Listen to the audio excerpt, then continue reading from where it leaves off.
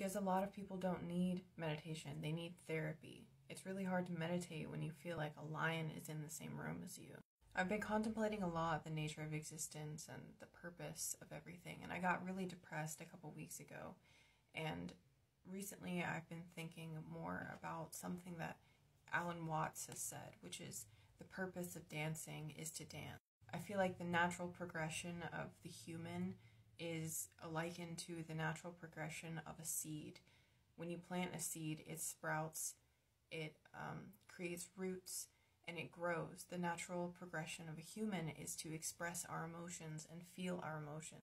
I feel like so much of us have gotten so used to judging ourselves preemptively because someone else in our young life has judged us that we are unable to let ourselves express and live freely without feeling like we're under a thumb. So we're always cohabitating with this internal lion, and it's hard to sit and be with ourselves when we're really scary.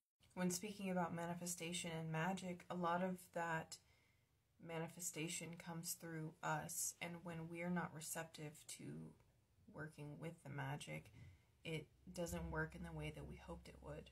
Being receptive to our own emotions means that we're more receptive to the magic because we are, of course, all very magical.